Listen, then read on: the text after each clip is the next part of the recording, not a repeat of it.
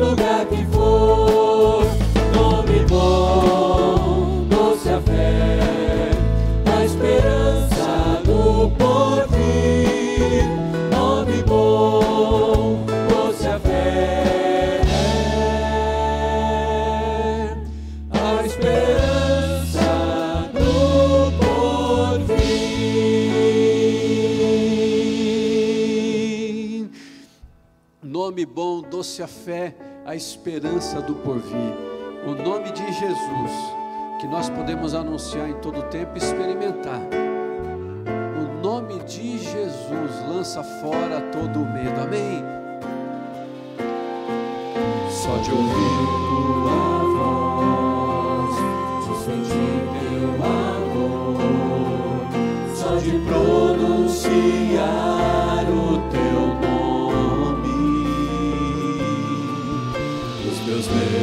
Lucifer.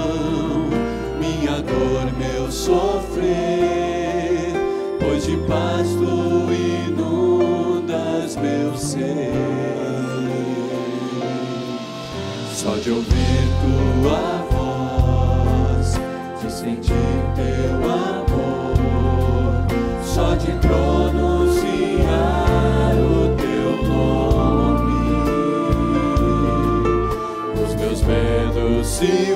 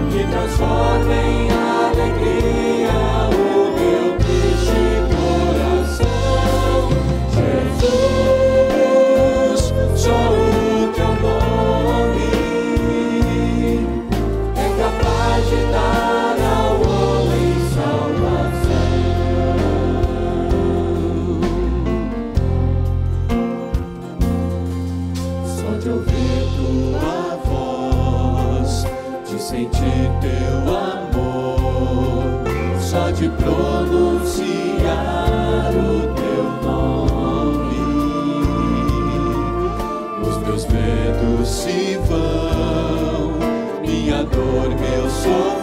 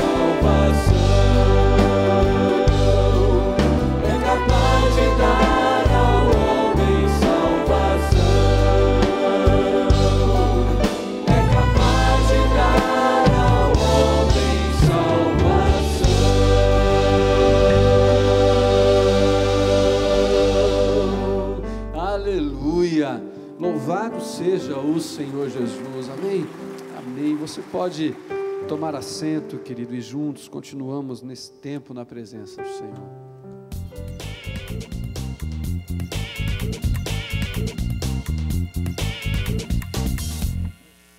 Olá, PIB de Curitiba, estamos começando o Acontece na PIB, já dando um destaque para você que pretende se casar. É isso mesmo, está aberto aí as inscrições para o curso de noivos. Para você que conhece alguém, dá essa dica aí importante para ter esse tempo gostoso de preparação antes do casamento. Conhecendo a PIB também, hoje a gente vai ouvir um pouco sobre a nossa área de esportes, aí o Ministério com Atletas. Na sua revista tem mais novidades também e agora no Acontece na PIB. Olá, tudo bom com vocês, igreja? Essa semana estamos mostrando o Ministério de Esporte para vocês aqui. Vocês estão vendo algumas imagens, alguns vídeos passando. E talvez você fique na dúvida e fale assim: eu nem sabia que existia esse ministério. Pois é, durante a semana temos várias atividades no ginásio acontecendo e você é nosso convidado, seja para jogar bola, andar de skate, jogar basquete, tudo tem vários esportes aqui esperando por você. Temos o Airsoft também, o pessoal tem praticado, temos a parte de lutas aqui, tem sido um tempo bem gostoso. E o melhor de tudo, tudo isso é uma estratégia evangelística para a gente poder ter um tempo gostoso na presença de Deus. Todas as atividades que acontecem aqui no ginásio, elas têm um tempo que a gente está intercedendo pela vida dos outros, tem um tempo de estudo da palavra e isso é feito especialmente para você. Você também que tem seu amigo que é atleta, que compete, o pastor Anselmo há muito tempo realiza um trabalho de capelania. Ele acompanha atletas de alto rendimento, a gente tem acompanhado atletas da luta, do ciclismo, de várias áreas. E se você tem algum amigo, ou se você é atleta dessa área, quer ser acompanhado, quer caminhar, quer estudar mais da palavra, aprender mais de Deus, você é o nosso convidado a estar com a gente. Todas as segundas-feiras, às 20 horas, a gente está aqui no ginásio, louvando ao Senhor, agradecendo pelas nossas vitórias, orando pelos nossos amigos. A gente fica esperando vocês aqui, valeu?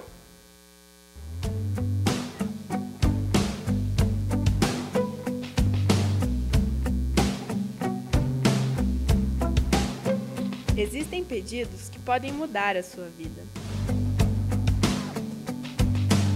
Curso de noivos, de 24 de agosto a 26 de outubro. Mais informações na sua revista Dia a Dia com Deus.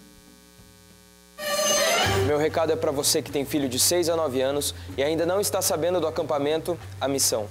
O acampamento acontecerá nos dias 22 a 24 de agosto na chácara Vereda das Araucárias, com as crianças de 6 a 9 anos. Por isso, se você não fez sua inscrição ainda, passe no stand depois do culto que as vagas estão acabando. Não deixe seu filho fora dessa. Carlos é esposo da Marli. E na casa deles mora a Sofia, a Amábile, a Daniela, a Tatiane. A Vitória, o Henrique, a Glória, a Bruna, o Miquéias, a Luísa, a outra Vitória e a Mirinéia, com suas duas filhas. Tem mais gente ainda. Sem contar com o pessoal da ação social, que hoje já faz parte da família. Então, se você quer ajudar essa família de alguma forma, procure o estande da ação social no final do culto.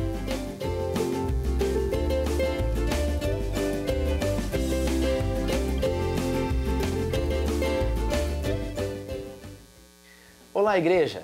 Estou aqui para convidar você para o nosso Dia do Líder no segundo semestre de 2014. Quando é que acontece? Agora, no dia 9 de agosto, das 9 da manhã a meio-dia, quando o nosso pastor, pastor Pascoal Piragini Júnior, convida eu e você, líderes de ministérios nessa igreja ou todos os participantes de célula, líderes de célula, supervisores de célula, para um tempo especial de comunhão, de oração uns com os outros, de olharmos para Deus, buscarmos a Ele e compreendermos dele os alvos que Ele tem para nossa igreja nesse período do ano. Vai ser um período intenso, bonito, especial, depois de já termos comemorado o centenário da nossa igreja, quando eu e você arregaçamos as mangas para servir o Senhor e sermos preparados por Ele, para aquilo que Ele ainda quer fazer por meio de nós na vida dessa igreja, dessa cidade, do Brasil e do mundo. Então, eu espero você junto com o Pastor Pascoal, dia 9 de agosto, 9 horas da manhã. E olha, traz um prato de comida, porque o café da manhã quem faz somos nós. E nós vamos comemorar um tempo bem especial juntos. Até lá, Deus te abençoe. Doando Milhas. O missionário está chegando e com ele nossos missionários do Brasil e do mundo. Para isso, precisamos trazer cada um deles de avião para essa grande conferência de edificação mútua. Então, contamos com você para servir e investir através da doação de milhas aéreas ou as passagens para o Ministério de Missões. Entre em contato conosco e participe desse projeto espiritual. Acampamento Jovens Adultos, de 29 a 31 de agosto, no Hotel Santa Paula, em Guaratuba. Mais informações na revista Dia a Dia com Deus. Se seu filho quer se batizar aqui na nossa igreja, marque uma entrevista com o Ministério Infantil. O agendamento vai até o dia 10 de agosto. Acampamento Jovens Casais, de 19 a 21 de setembro, no Hotel Santa Paula, em Guaratuba. Mais informações no estande após os cultos. Culto de ação de graças em comemoração ao Dia do Advogado, dia 11 de agosto às 20 horas. O preletor é o pastor Pascoal Piregini Júnior e você pode ter mais informações na revista Dia a Dia com Deus.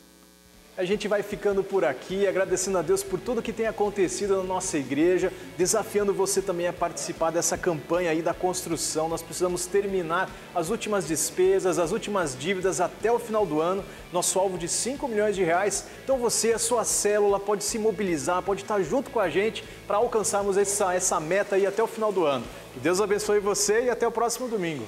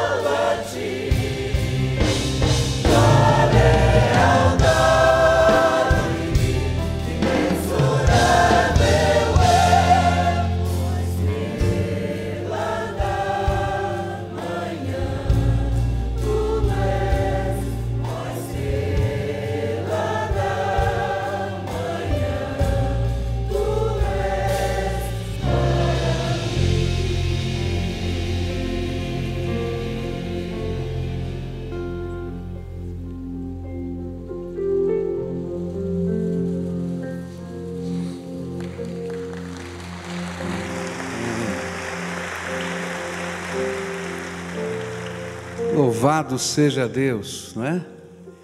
Quando a gente canta uma canção como essa, que Deus é tudo para mim, é um negócio sério, né? Porque quando a gente fala de tudo, uau, Ele é mais do que qualquer outra coisa que você tenha, que você ame, que você guarde. Ele é mais, Ele é mais. Agora, esse é um sentimento que tem que ser cultivado no coração cada dia, não é? E aí a gente sente a alegria de Deus no coração da gente. Então, Ele é tudo para você? É? Então vamos cultivar isso com alegria no nosso coração. Esse é o tempo quando a gente lembra algumas coisas importantes. A primeira delas que é essa semana, no dia 5. Dia 5 é terça-feira, é isso? Terça-feira, é isso? Então, terça-feira agora, as irmãs aqui da nossa igreja vão fazer um chá para missões.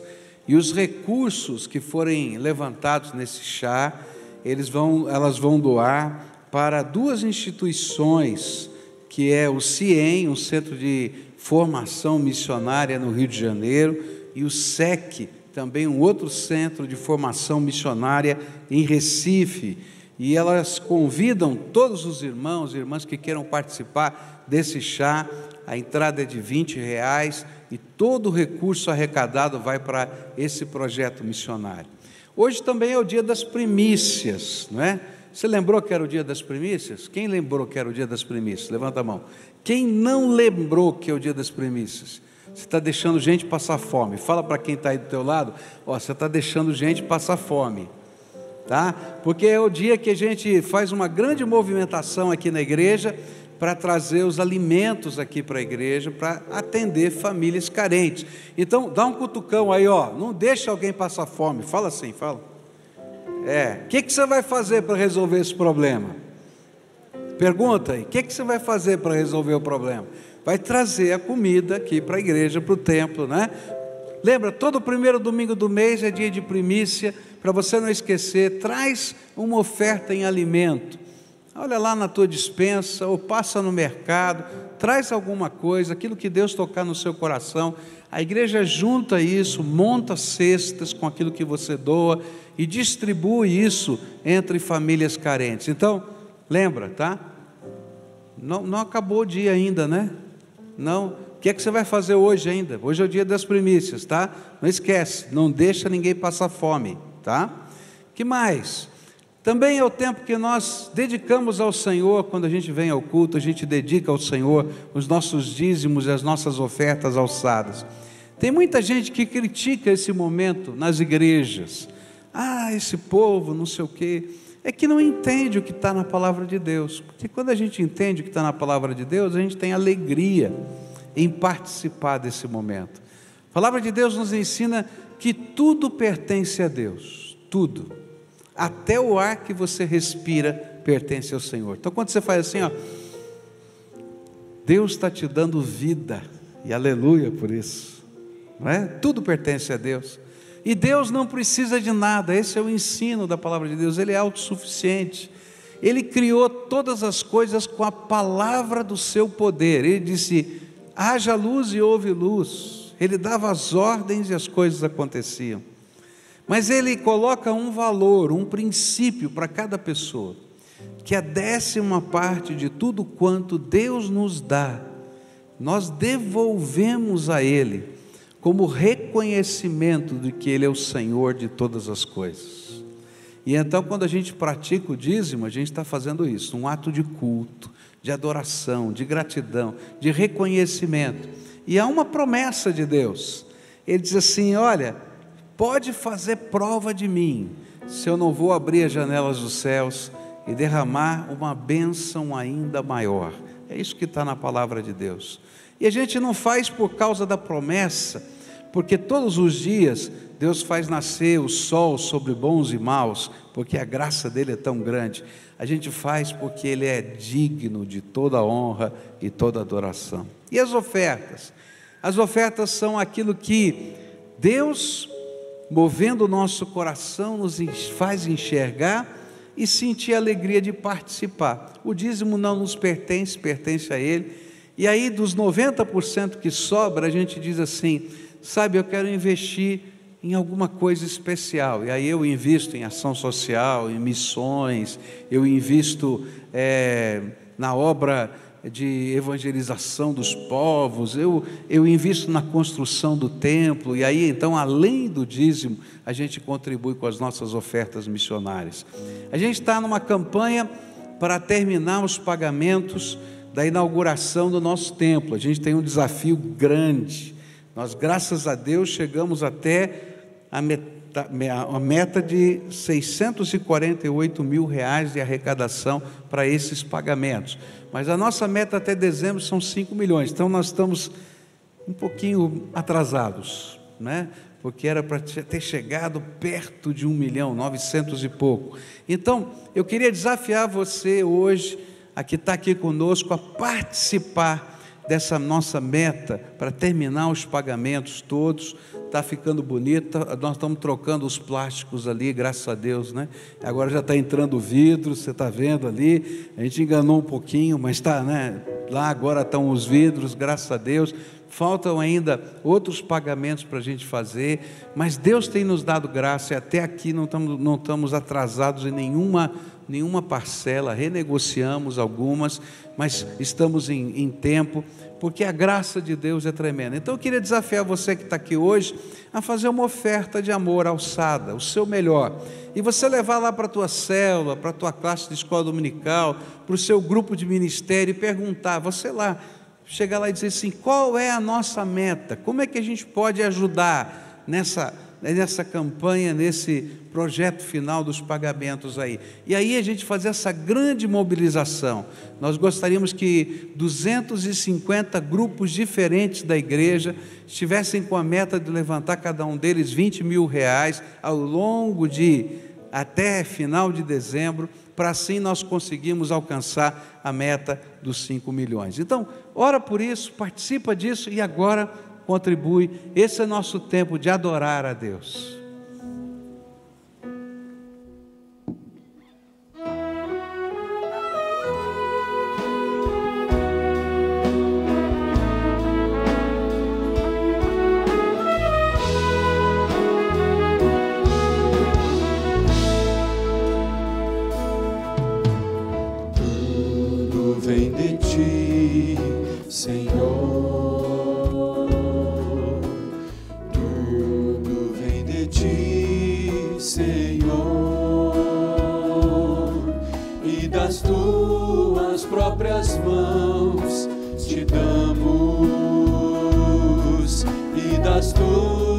Comparado.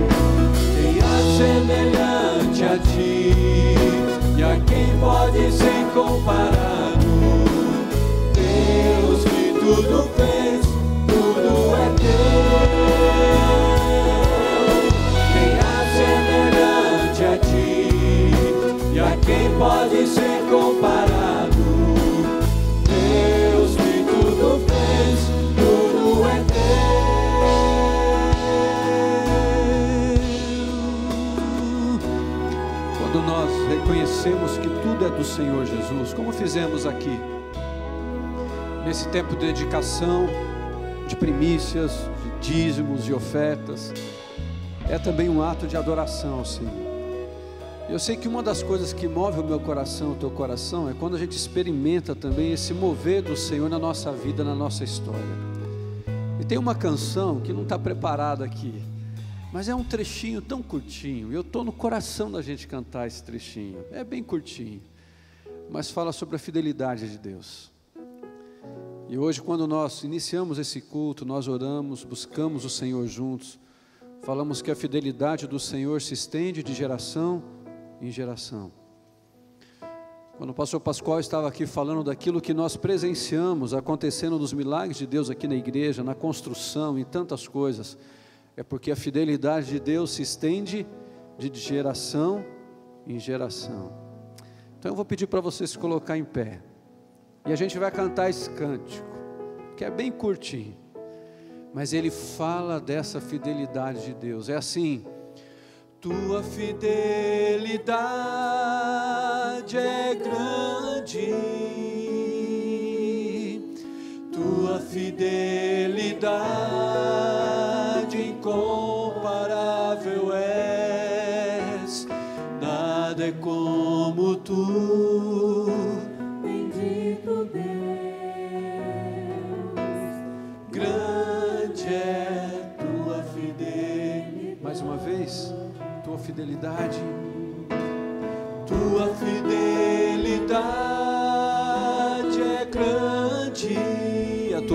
Senhor.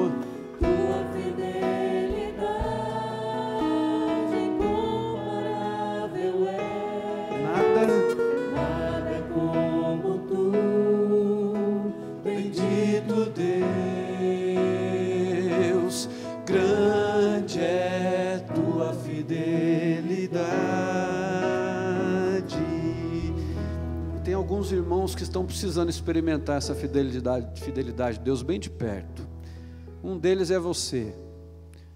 Você tem algo na tua vida que você está precisando experimentar essa fidelidade de Deus assim? Deus, eu sei que o Senhor é fiel, mas eu estou precisando da fidelidade do Senhor de uma maneira bem próxima de mim. Eu estou precisando da ação do Senhor bem próxima de mim. Estou precisando do cuidado do Senhor. Ontem nós nos reunimos com alguns líderes pela manhã. Em três minutinhos apenas, três minutos.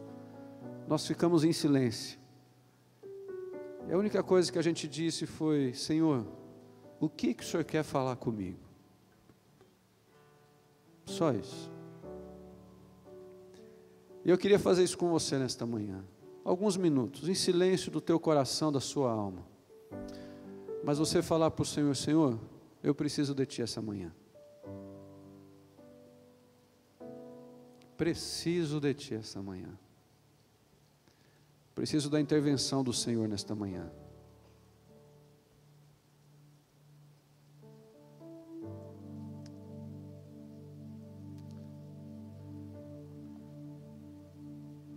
Preciso das respostas do Senhor nessa manhã.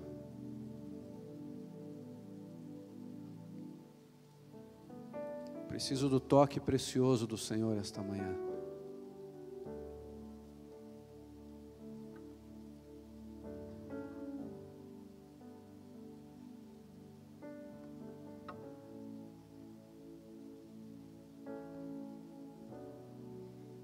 O Armando, a Rafael, a Gabriela, o Norcides, está aqui um pedido de oração pela saúde deles, estão precisando dessa intervenção do Senhor nesta manhã.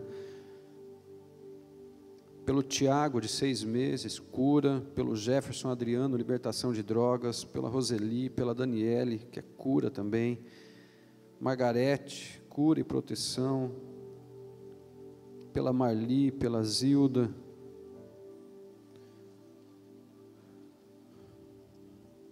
Agradecer a Deus pela vida do pastor Nasser. Eu vou orar junto com ele aqui. Convido o pastor Nasser a vir aqui. Está de aniversário. O Mateus, que está indo para os Estados Unidos, nós vamos orar também pela vida dele. Mateus, chega aqui. Mas, queridos, o que, que cada um de nós precisamos? Aqui também nessa caixinha está cheio de gente pedindo assim: Senhor, eu preciso da intervenção do Senhor. Preciso dessa fidelidade do Senhor que é grande, que é incomparável. E nesse tempo em que nós oramos juntos, queridos, você que está precisando de algo especial na sua vida, eu vou pedir só para você levantar a sua mão e você vai ficar com a sua mão levantada enquanto a gente ora juntos. E nesse gesto, nessa atitude, você vai falar assim: Senhor, aqui, estou aqui, preciso disso, preciso do Senhor, preciso da intervenção do Senhor.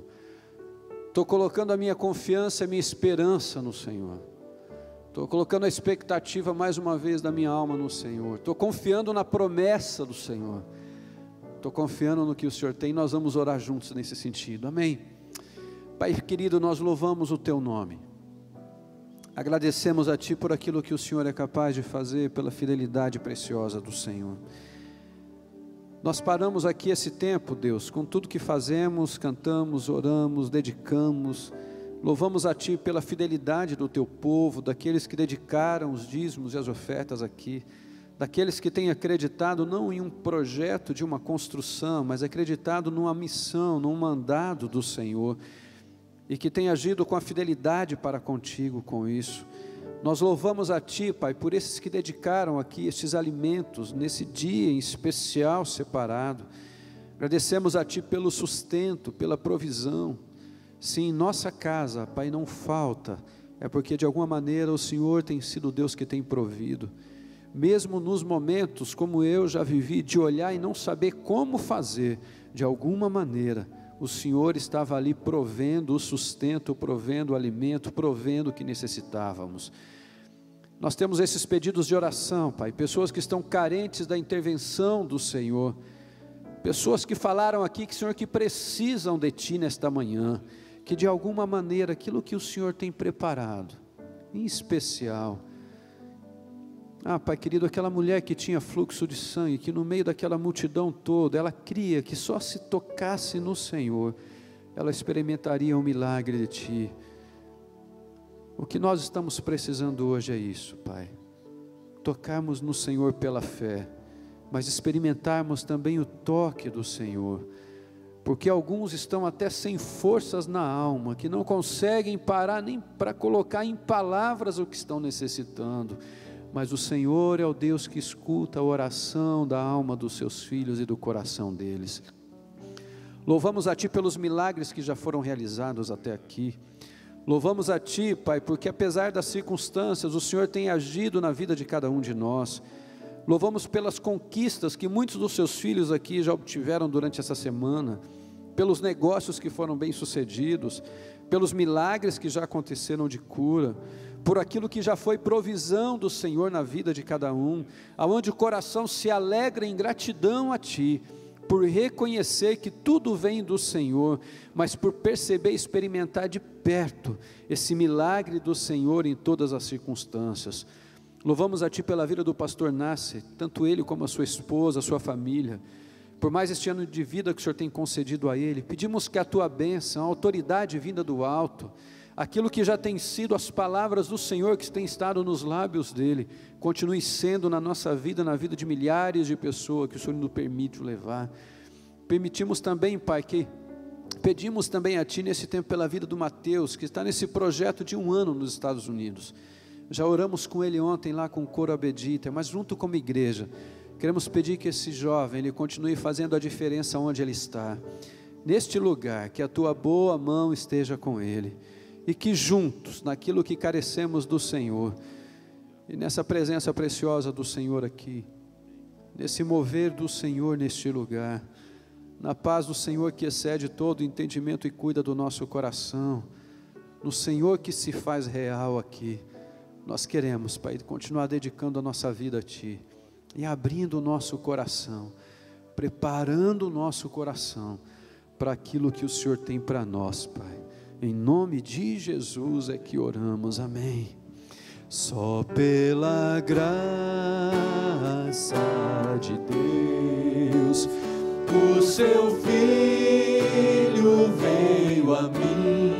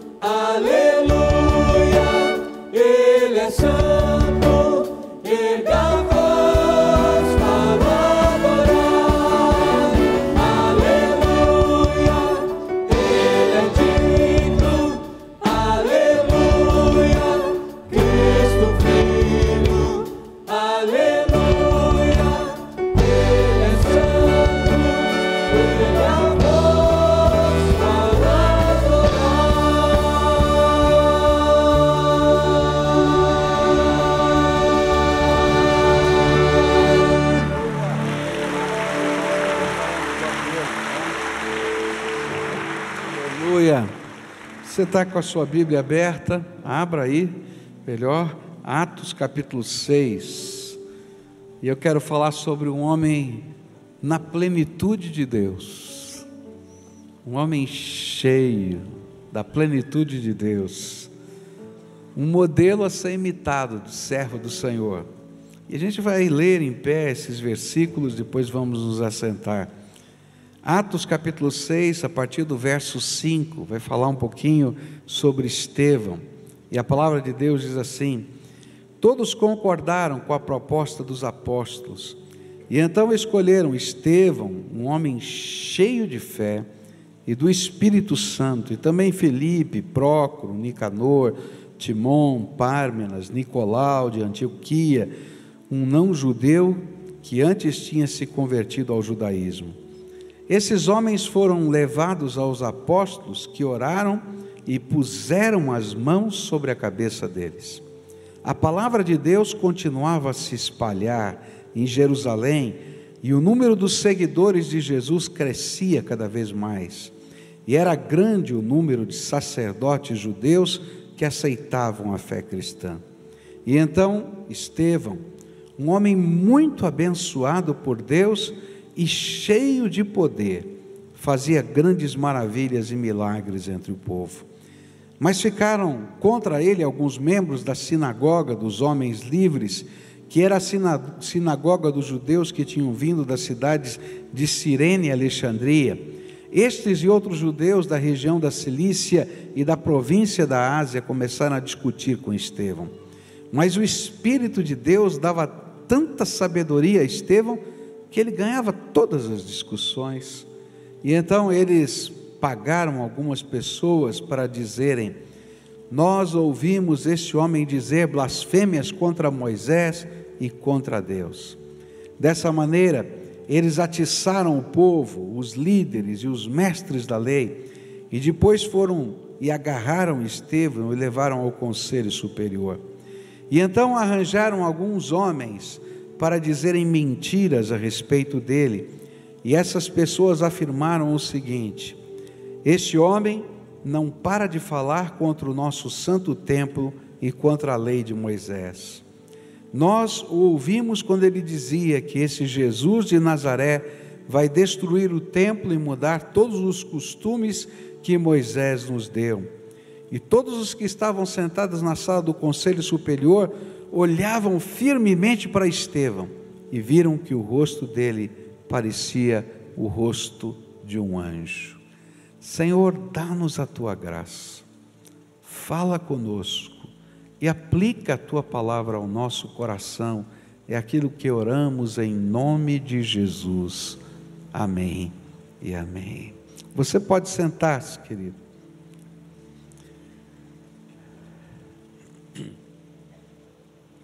Capítulo 6 do livro de Atos fala de um momento na história da igreja quando a igreja está vivendo um problema, ela está crescendo. E por causa do crescimento, aqueles doze apóstolos não davam conta de todas as tarefas.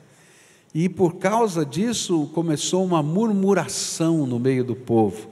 As pessoas diziam: olha, aqueles que são de origem judaica, aqueles que são que falam o hebraico e não o grego, são atendidos mais rapidamente pelos apóstolos. Nas dispensações diárias, na distribuição dos alimentos, enfim, tantas coisas. Isso começou a criar uma situação muito difícil no contexto da igreja, porque uma das coisas bonitas da igreja, e essa é uma coisa que a gente nunca pode perder, é que Deus não faz acepção de pessoas. E se Deus não faz acepção de pessoas, o povo de Deus não pode fazer acepção de pessoas.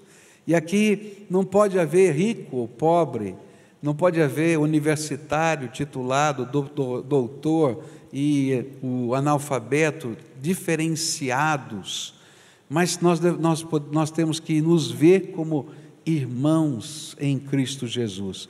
E quando esse valor se perde, ou Satanás até coloca uma sementinha é, de discórdia, a igreja perde parte da sua beleza. E aí então os apóstolos tiveram aquela sabedoria de Deus, dizer assim: vocês vão escolher sete homens que fazem parte do grupo daqueles que não falam hebraico, que falam o grego, e esses serão os encarregados das distribuições, já que a questão era uma antiga questão racial ou uma antiga questão étnica. Então vamos resolver isso, porque é melhor abrir mão do poder do que você deixar a comunidade ser quebrada. E é isso que os apóstolos fizeram. Mas eles colocaram algumas condições que esses homens deveriam ser cheios de fé, cheios do Espírito Santo e ter uma boa reputação. Mas entre esses sete havia um que era uma figura de plenitude, aquela pessoa que inspira, aquela pessoa que marca a vida dos outros pela presença do Espírito Santo na sua vida. E essa pessoa era Estevão. E Estevão rouba a cena do que está acontecendo e, os, e Lucas, que vai escrevendo esse relato, ele vai gastar grande parte do capítulo 6 e todo o capítulo 7 para falar sobre esse homem, porque era um homem que impactava a vida das outras pessoas. E o que marca e que se repete várias vezes na expressão de Lucas é cheio, a palavra cheio, cheio de fé, cheio do Espírito Santo, cheio de graça, cheio de poder, cheio de sabedoria e cheio de amor. Nessa manhã eu queria olhar para essa plenitude na vida desse homem a partir da primeira expressão que Lucas coloca para descrever esse homem de Deus chamado Estevão. Ele era um homem cheio de fé. Mas o que significa ser cheio de fé? A pessoa cheia de fé é aquela que impressiona, que marca a vida dos que estão ao seu redor por sua capacidade de crer e confiar em Jesus. É interessante como a vida cheia de fé pode transformar pessoas. Há um teólogo vivo na Alemanha ainda, considerado um teólogo liberal, George Multman. Jorgen Multiman, eu acho que é mais ou menos assim que se fala. E ele, apesar de ter vivido sempre dentro de uma teologia liberal, de ter dificuldade de crer na inspiração plena das Escrituras, ele faz uma viagem para a África. E lá na África ele encontra uma igreja, diferente da igreja que ele conhecia na Europa. Uma igreja cheia de fé. Uma igreja que orava.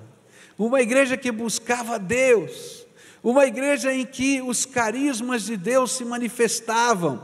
E de repente ele volta para a Europa e diz assim: tem alguma coisa errada entre a igreja que eu conheço aqui e a igreja que eu vi lá. E ele escreve um livro inteiro para falar da igreja vivendo a fé e o carisma de Deus, porque ele queria entender o que ele tinha visto. É interessante como pessoas que às vezes têm posições tão contraditórias são impactadas quando encontram pessoas cheias de fé. Não dá para discutir. Ele não tinha como argumentar os seus postulados, porque ele via algo tremendo de Deus acontecendo no coração e na vida daquela igreja. Como é bom conversar com gente assim. Você já conversou com alguém cheio de fé? Já conversou? Que coisa tremenda! Se você está abatido, você vai sair daquela conversa contagiado pela fé e pela esperança daquela pessoa. Estevão era assim, um homem cheio de fé. Alguns servos de Deus na minha vida têm marcado a minha experiência como pessoas que foram ou são modelos de fé. Gente cheia de fé. Eu me lembro, por exemplo, de um velho diácono da igreja da Lapa, em São Paulo, chamado Maurílio de Bortoli.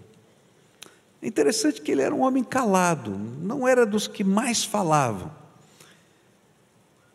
Até alguém poderia dizer assim: esse homem não tem muitas habilidades. Mas durante muitos anos ele foi o vice-presidente daquela igreja. Ele não sabia dirigir uma assembleia, ele não era uma pessoa eloquente, não era um grande pregador, mas se tinha uma coisa bonita na vida daquele homem era que, na sua mansidão, ele vivia uma vida de oração e tinha uma vida cheia de fé. E uma das marcas desse homem é que ele levava a fé para os enfermos. Sabe qual era o seu dom? Visitar os enfermos. Ele visitava as pessoas que ele sabia que estavam enfermas, lia a palavra de Deus, onde dizia que se havia alguém enfermo naquela igreja, deveriam se reunir os líderes da igreja, ungir com óleo e orar. E ele dizia: meu filho, eu não entendo como é que isso funciona, mas eu creio que funciona porque está na Bíblia. E ele fazia assim. E muitas pessoas eram curadas simplesmente por causa da fé que era manifesta naquele homem simples.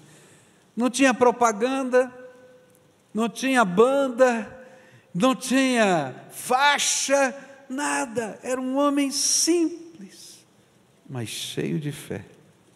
E quando ele chegava para fazer uma visita, todo mundo se alegrava, porque sabia que Deus o havia mandado naquele lugar. Não é tremendo isso? Mas eu lembro de outras situações na minha vida, essa semana mesmo aconteceu uma muito interessante. Eu estava entrando aqui nesse templo, estava ali consertando umas lâmpadas, um funcionário aqui da igreja, um haitiano, membro da nossa igreja, chamado Fígaro, e eu passei por ele, ele falou com o português difícil dele, ele disse: Pastor, eu preciso conversar com o senhor. O senhor tem tempo hoje? Eu disse: Olha, hoje está complicado, eu vou ter que sair para uma outra cidade aqui perto e eu vou, não sei como é que eu vou conseguir falar com você. Tá bom, pastor, mas eu preciso falar muito sério com o senhor. falei: Tá bom. Aí subi para o meu gabinete, tinha algumas coisas para fazer, e abri uma vaguinha, eu falei para a Nelita, Nelita, chama o Fígaro, que o Fígaro quer falar comigo. Ele entrou na minha sala, tomou um chazinho junto comigo, sentado ali do meu lado e disse assim: Eu vim aqui orar com o Senhor, porque eu creio, eu creio que Deus vai curar sua esposa. Eu creio, eu creio. E foi tão bonito porque aquele homem simples se ajoelhou comigo do lado ali da poltrona e orou por mim. E aquilo que ele mais falou foi: Eu creio, eu creio, eu creio. Gente cheia de fé. Queridos, eu não tenho poder, você não tem poder. Eu não tenho toda a sabedoria do mundo, nem você tem. Mas se tem uma coisa que impacta o coração de Deus, e que a Bíblia diz que traz à realidade as coisas que nós ainda não vimos, é a nossa fé. E quando Deus permite que o nosso coração seja cheio de fé, à medida em que a gente vai passando pelas pessoas, encontrando as pessoas, essa fé é emprestada de um para o outro e coisas tremendas de Deus acontecem. Alguns anos atrás pregou aqui na nossa igreja um missionário médico que trabalha em Angola, num hospital é, missionário em Angola. E esse homem de Deus, um cirurgião, ele contou essa história aqui num culto para todos nós. E ele disse assim que veio uma senhora do interior de Angola para aquele hospital. E quando ele examinou aquela senhora, tinha um tumor muito grande, do tamanho de uma mão no seu ventre, do punho assim, ele fechou o punho e mostrou para a gente. E ele então diagnosticou aquele tumor e disse: Olha, a senhora precisa ser operada. E marcou a cirurgia marcou o dia que ela faria a cirurgia. E ela então fez toda a preparação, os exames, ia se internar para aquela cirurgia.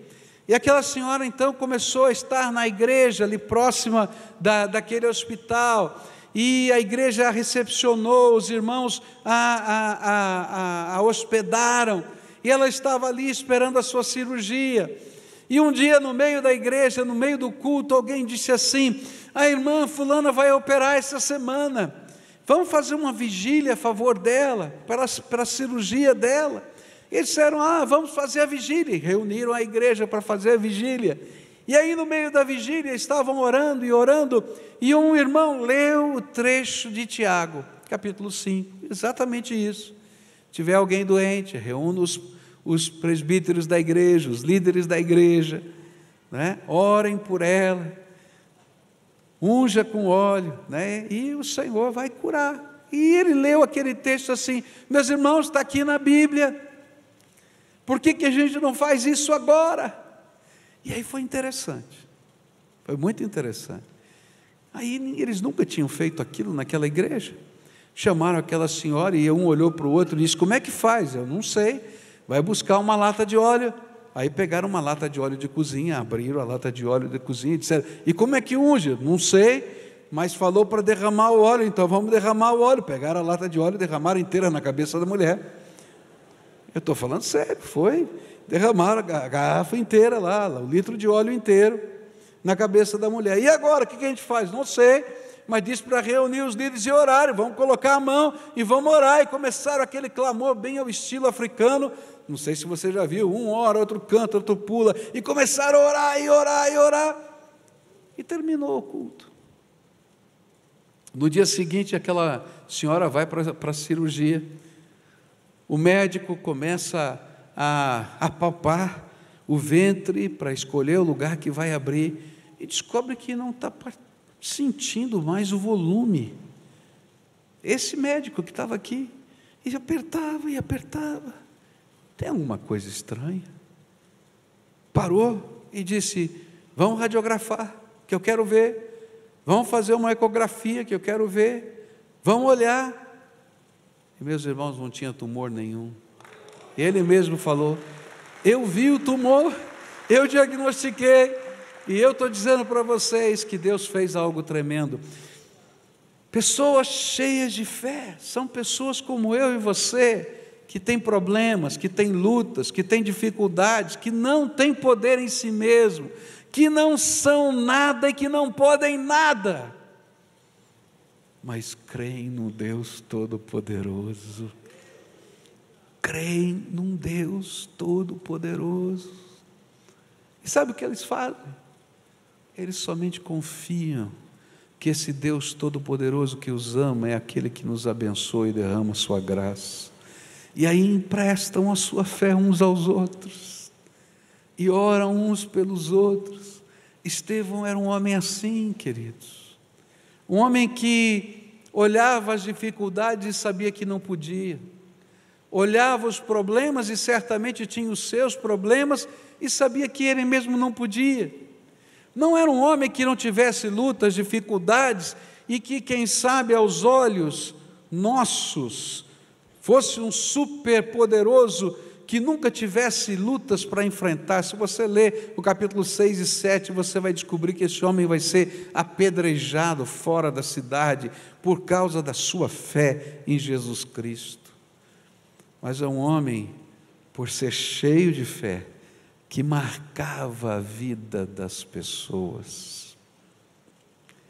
O que a Bíblia está ensinando para a gente, e faz questão Lucas de ensinar, que não eram só os apóstolos que eram usados por Deus, e às vezes a gente tem essa ideia, ah, só vai poder ser usado por Deus, os apóstolos do Novo Testamento foram usados por Deus e mais ninguém. Ou então a gente imagina que por causa de uma função eclesiástica, Deus só pode usar aquele que tem essa ou aquela função. E de repente Deus separa um homem que já vivia tudo isso no contexto da igreja. E justamente por viver tudo isso é que ele é escolhido para ajudar os apóstolos, mas ele já vivia tudo isso sem ser apóstolo, sem ser diácono, sem ser nada. Porque ele era servo do Senhor Jesus Cristo. E essa é a melhor coisa que pode existir. Quando eu leio a história de Estevão, eu descubro uma coisa tremenda, queridos. Sabe o que faz diferença? Sabe o que impacta as pessoas? É quando a gente consegue emprestar a nossa fé ao coração delas. Existe muita gente angustiada, perdida, desesperada nessa terra, e muitos estão aqui dentro hoje, mas muitos nem chegaram aqui porque não aguentam. E sabe o que Deus está querendo? Levantar no meio do seu povo gente cheia de fé. Querido, eu não sei nada, eu não conheço nada, eu não posso nada, eu sou de carne e osso, mas eu creio no Deus vivo, eu vou simplesmente obedecer o que está aqui na palavra. E a responsabilidade dessa obediência não é minha, é daquele que escreveu a palavra. E na medida em que a gente vai fazendo isso, a graça de Deus se manifesta na nossa fraqueza. E sabe o que acontece? A gente vai sendo capaz de crer, e crer, e crer, e crer, e crer. Eu queria fazer uma pausa nessa mensagem. Eu sei que hoje não é o melhor dia para fazer isso. Tem ceia, você já está olhando para o relógio, mas não tem sentido a gente pegar essa palavra se a gente não praticar essa palavra. Eu queria fazer uma pausa nesse momento para a gente orar uns pelos outros, oração de fé. Olha, eu não tenho poder, você não tem poder. Eu sou um caquinho, estou quebrado, você também. Mas nós cremos no Senhor Jesus e nós cremos na palavra de Deus que está aqui. Então nós vamos orar uns pelos outros. Queremos orar por você. Vamos orar uns pelos outros. E eu queria convidar agora, porque Deus usa pessoas simples, pequeninas, como Estevão, para ministrar em obediência e em fé. Então, agora eu queria convidar alguns irmãos que sintam o desejo de orar por pessoas. Eu gostaria de orar por alguém para virem aqui na frente agora. Vão ficar aqui na frente. Eu gostaria de orar por alguém. Eu queria orar por alguém. Eu queria Eu creio que Jesus é poderoso para fazer muito mais. Eu não tenho poder, eu não sou nada, mas eu queria orar por alguém. Queria pedir a bênção de Deus a favor da vida de alguém. É um sentimento gostoso que Deus nos dá. Eu creio que Deus pode fazer coisas tremendas. Eu creio, só isso. Eu não sou nada, não sou ninguém. Se você perguntar o meu título, eu não tenho. Mas eu creio, eu creio que eu posso orar com alguém. E eu queria pedir que você que está precisando que alguém ore por você, você está querendo que alguém ore por você, você vai chegar perto de quem está aqui, tá? Então nós vamos fazer assim, olha, quem tiver disponível para orar vai ficar de frente para o povo. Quem está precisando de oração vai olhar para cá, tá certo? E aí você vai se aproximando das pessoas que estão aqui, chega perto, essa pessoa vai impor as mãos sobre você. Você vai ele vai perguntar: por que eu devo orar? Por que eu devo orar? Ora por mim por essa razão, estou vivendo isso. E aí você ora e pede a bênção de Deus. Então, se você vai orar por alguém, você fica olhando para o auditório. Se você está pedindo oração por você ou por alguém da sua família, você vai ficar olhando para cá, tá certo? E a gente vai estar tá intercedendo uns pelos outros aqui, tá certo? E enquanto o povo de Deus ora, a congregação vai ficar de pé e vai cantar essa canção de fé que a gente acabou de cantar. Porque nós cremos. Você crê no poder de Deus? Você crê? Crê? Então, enquanto eles estão orando, nós estamos cantando juntos aqui.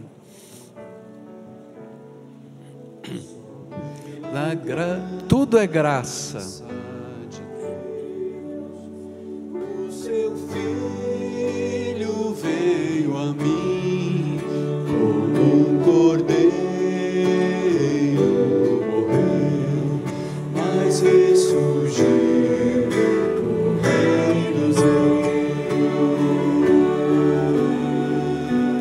Só graça. Só pela graça de Deus,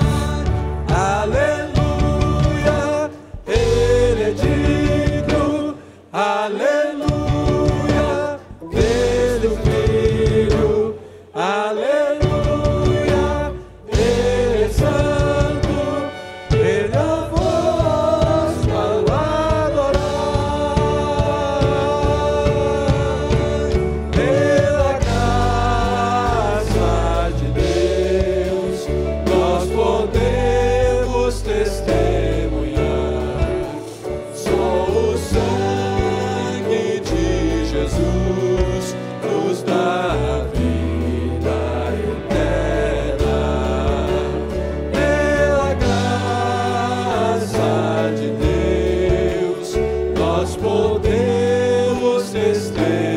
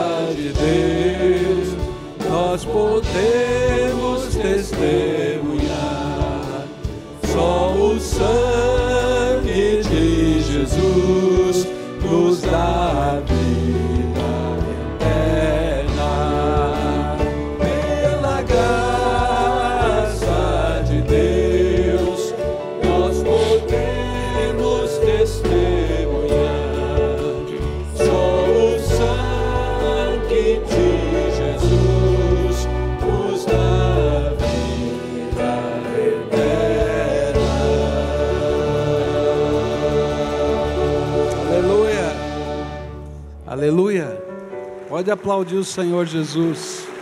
Ele é digno de toda honra, toda glória, todo o louvor. Agora, eu quero orar por você, se você me permite.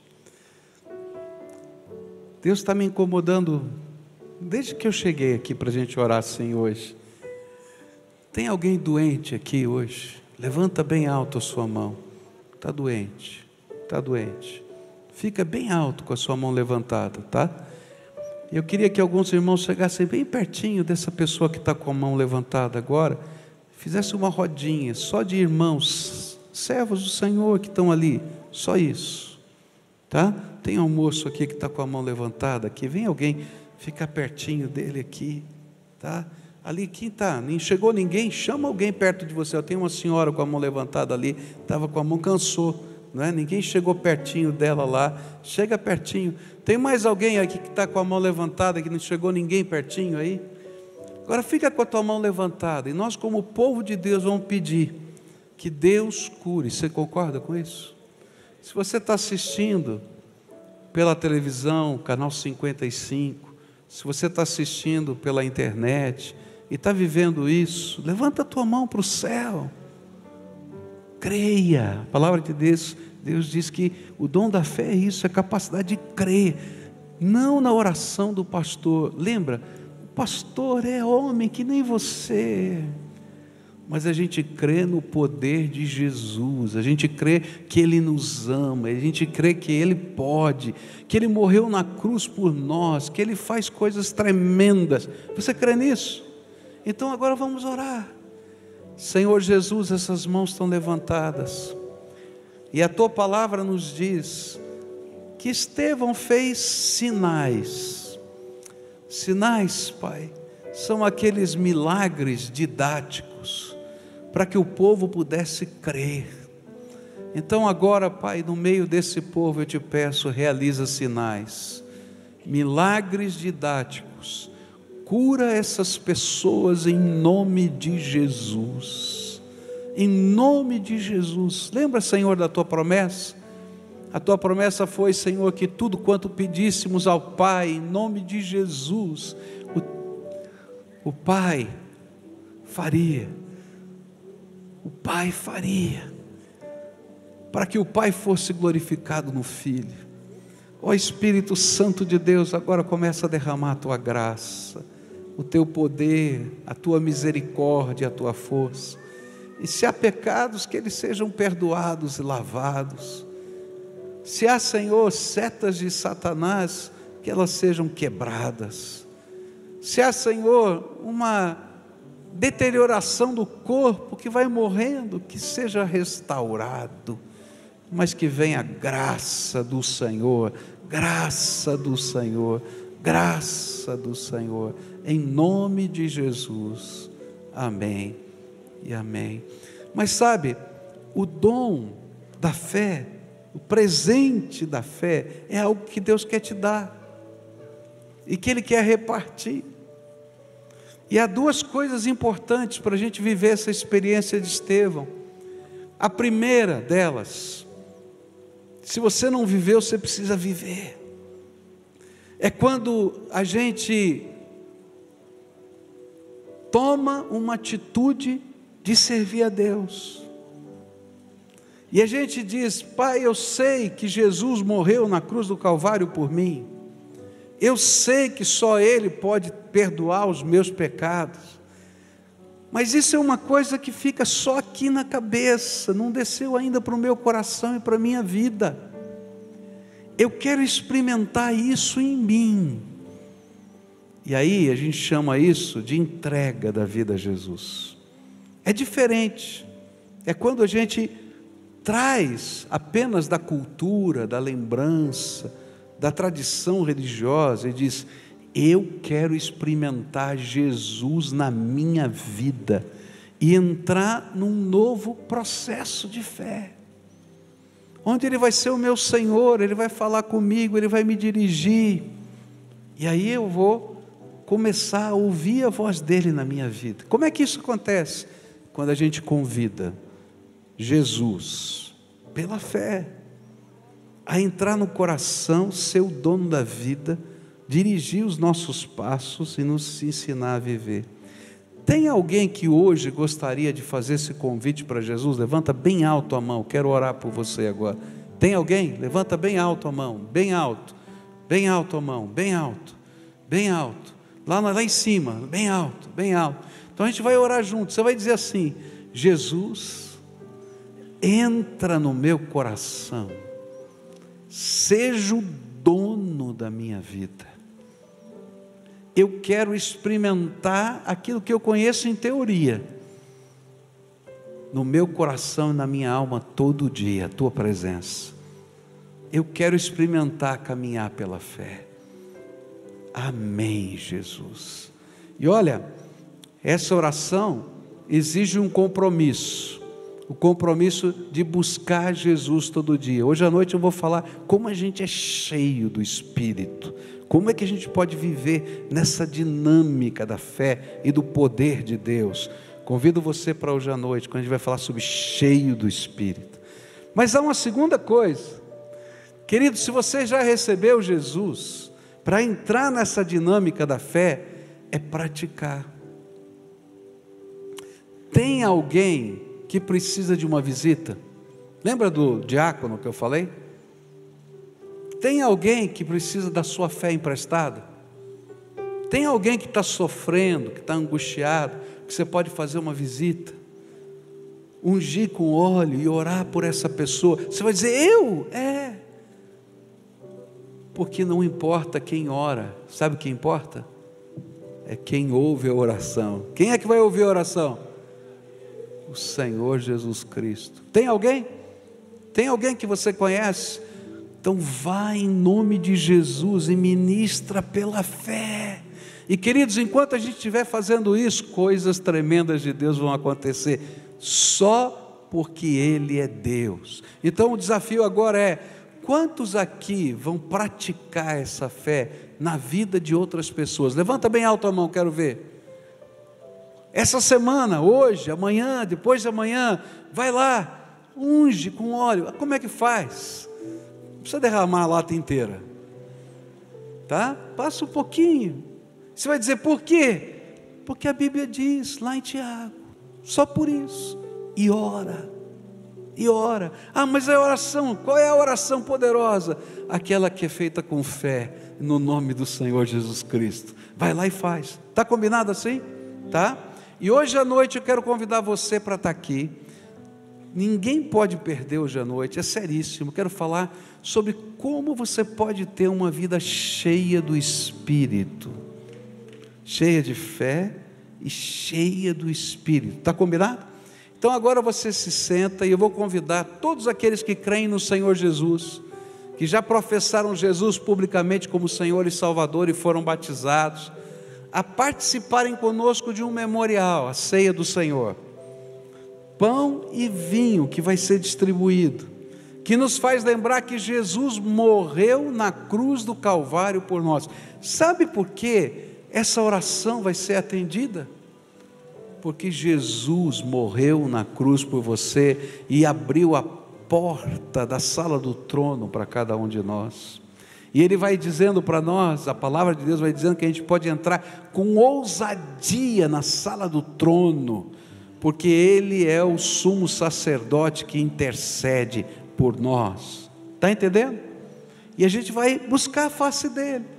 Ah, pastor, e se, queridos, eu não tenho respostas para os seus ses?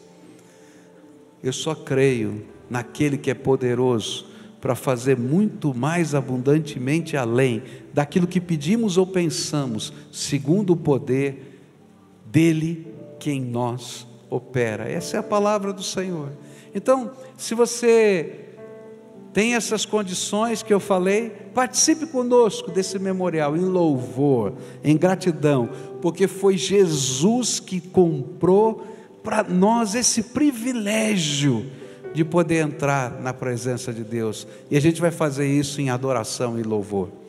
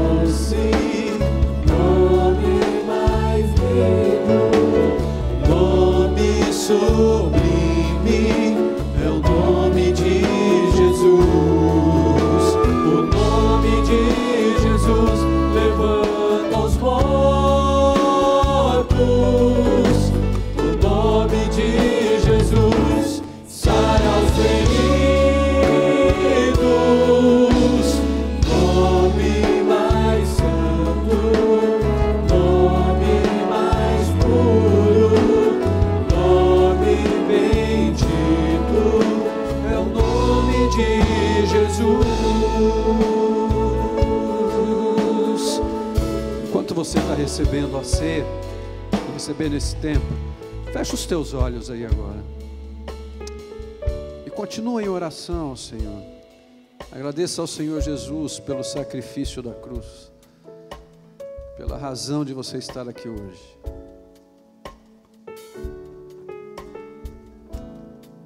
Por aquilo que Cristo fez por mim e por você na cruz do Calvário.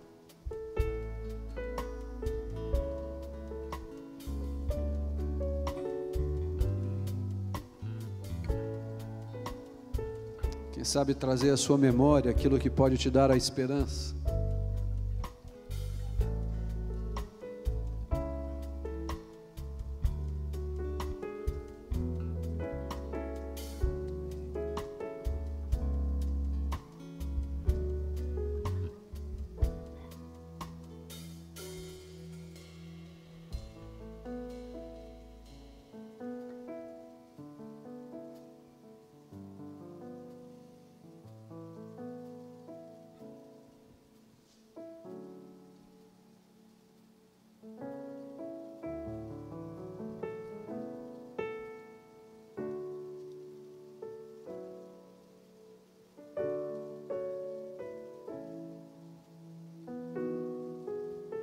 Assim.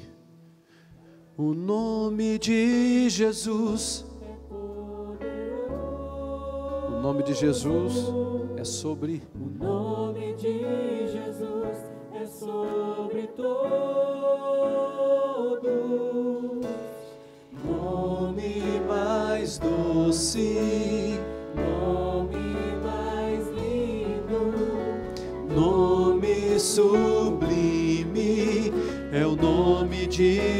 Jesus. O nome de Jesus levanta os mortos. O nome de Jesus Sara os feridos.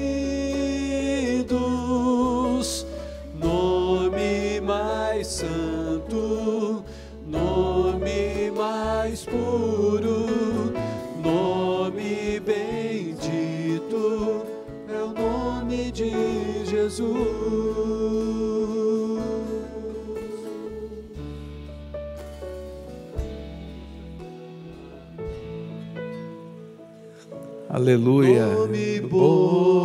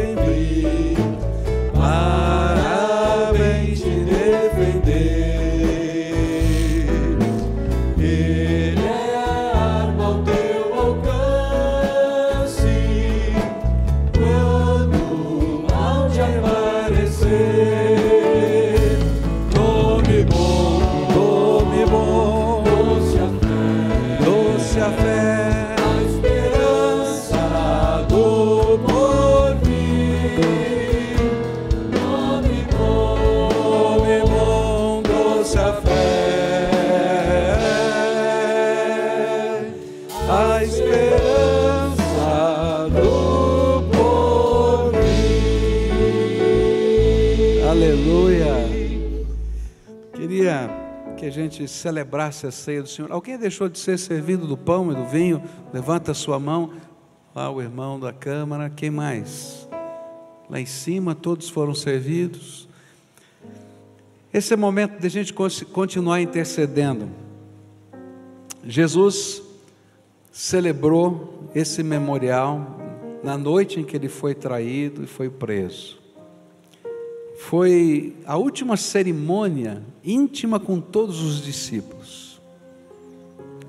Ele partiu um único pão em vários pedaços e disse: Olha, vocês vão repetir essa cena sempre, até que eu volte.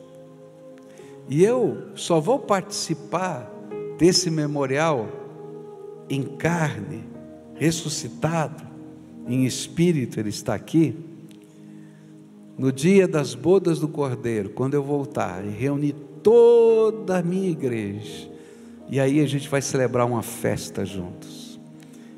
Mas ele fez isso para que a gente lembrasse que esse pedacinho de pão que a gente vai comer simboliza o corpo de Jesus que foi pregado na cruz do Calvário por nós.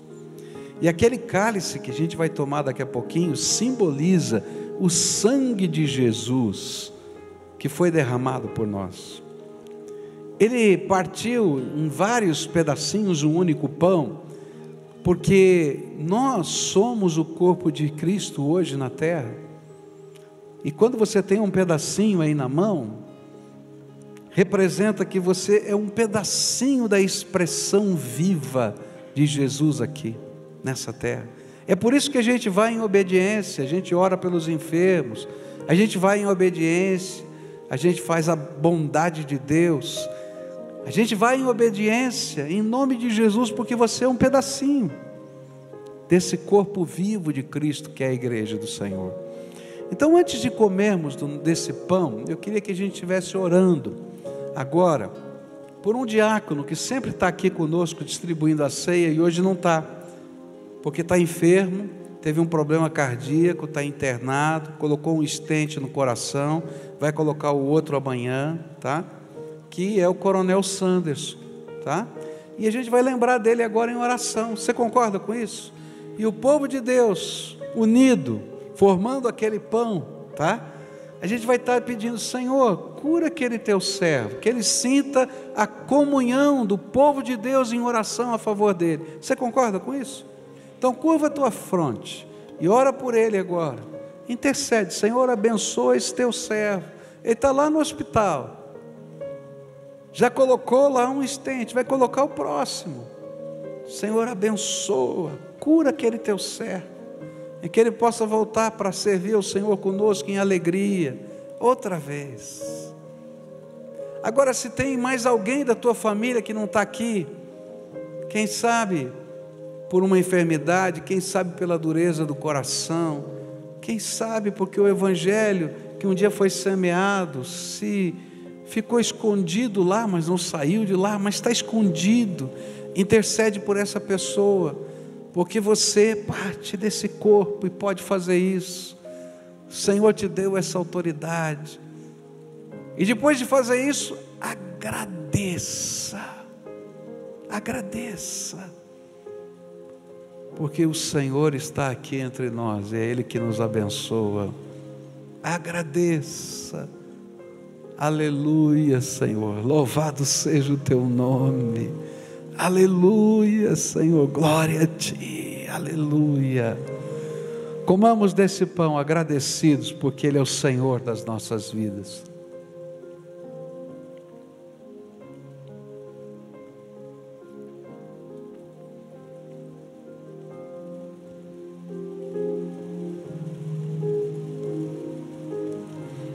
Este cálice simboliza o sangue de Jesus que foi vertido por nós. A palavra de Deus nos fala sobre o sangue. Foi o sangue vertido por Jesus na cruz que permitiu que os nossos pecados pudessem ser perdoados, lavados. Então, se hoje você pode ser liberto do poder do pecado, você está entendendo? pecado que mata, o pecado que destrói, o pecado que separa com de Deus, é por causa do sangue. Se hoje você pode ser liberto do poder do pecado, porque o pecado escraviza, e você pode ser livre e transformado de qualquer pecado na sua vida, é por causa desse sangue de Jesus. Se as trevas um dia puderam ter autoridade sobre a tua vida, e você foi arrancado do reino das trevas e colocado no reino do amor de Jesus, da luz e do amor de Jesus, é por causa desse sangue, não esse que está aqui, porque esse é um símbolo, mas o sangue de Jesus que foi vertido por nós. Então agora, nós vamos fazer duas orações. A primeira, uma oração de batalha. Tem gente nossa que está escravizada pelo pecado. Tem gente nossa que está perdida. Tem gente nossa que está precisando que o sangue de Jesus liberte. Quem sabe você está precisando disso.